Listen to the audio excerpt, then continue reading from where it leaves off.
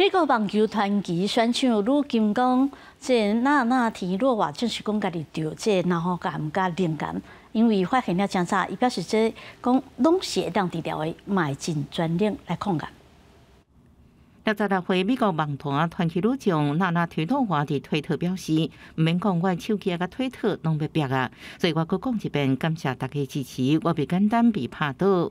陆金讲，娜娜天好话是伫七日时阵向网球网站 Tennis.com 表示，家己被诊断出得到淋癌甲喉癌，以及伫去年十一月伫德州一场比赛时阵，做着阿门棍附近淋巴诊断检查发现是喉癌第一期。伫检查过程，阁发现淋巴有淋管原肺炎，属于非侵袭性的淋癌。伊表示，虽然相当打击是真正害，毋过拢是用治疗。虽然会有一段辛苦日子，毋过会全力对抗。